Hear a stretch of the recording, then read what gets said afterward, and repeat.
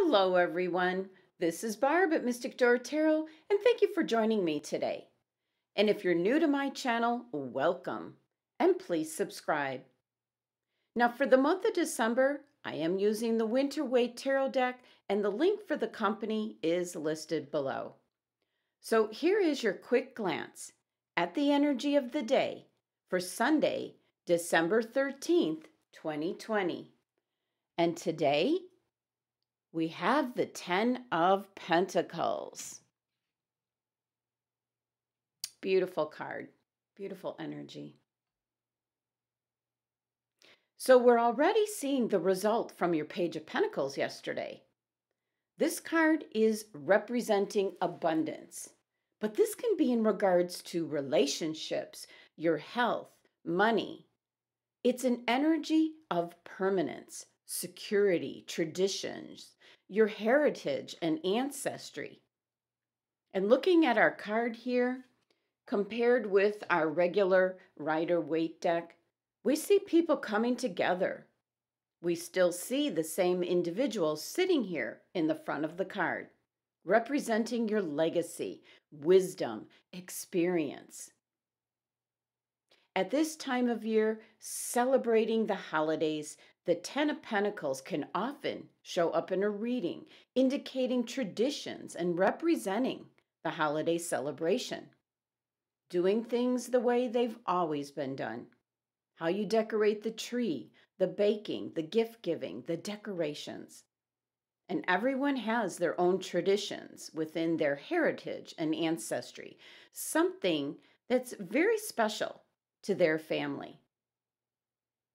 Now, the Ten of Pentacles can show up indicating financial abundance coming in, possibly an investment paying off or a bonus from your company. It could indicate an inheritance coming in. But there is a warning that comes with this card that indicates you might be thinking that the Ten of Pentacles is only in regards to financial wealth. You're forgetting about spiritual wealth, emotional wealth, these are comforts as well.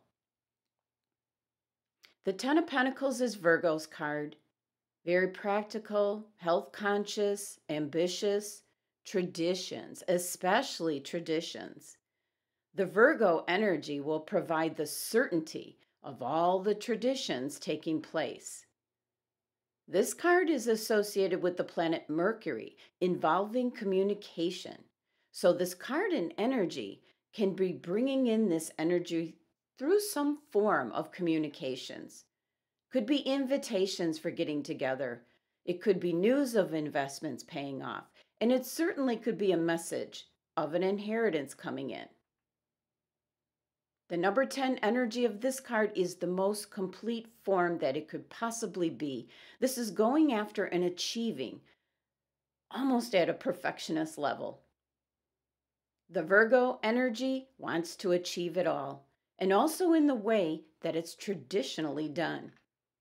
So, the energy coming in today is enjoying that legacy that surrounds you.